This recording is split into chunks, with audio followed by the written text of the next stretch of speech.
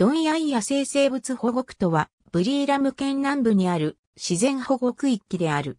ドンパヤーイエンカオヤイ森林地帯として、周辺の国立公園とともに、ユネスコの世界遺産に登録されている。日本では単に、ドンヤイと表現されることが多い。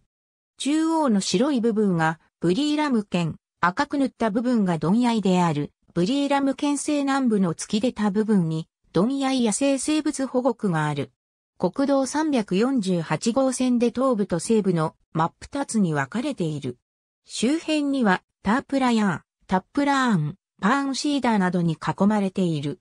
海抜230メートルから685メートル程度の地帯で年間平均降雨量は1100ミリメートルである。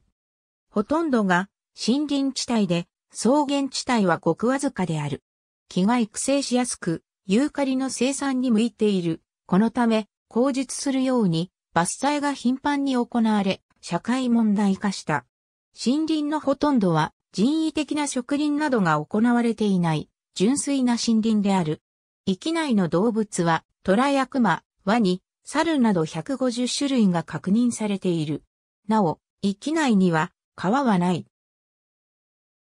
この地域における木の育成の良さを目をつけた業者によるユーカリ植林のための伐採が行われていた。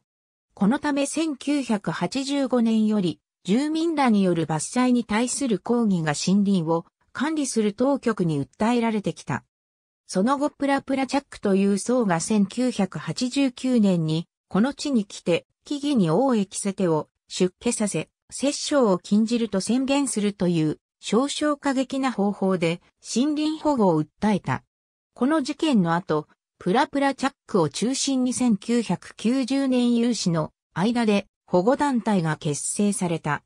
また一方で、伐採を行おうとするものと思われる側からの報復攻撃も起こるなど、事態は泥沼化していった。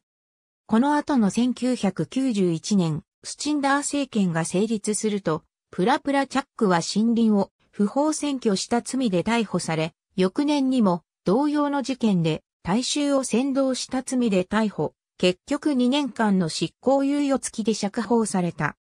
しかし、1992年、時の首相チュアンは内務省副大臣や森林省長をプラプラチャックと面会させ事態打開が促された。同年、内閣はこの地域に注目に値する森林資源が豊富にあることを確認。その年から政府による学術的な調査が開始され、1994年、野生生物保護区に指定された。ありがとうございます。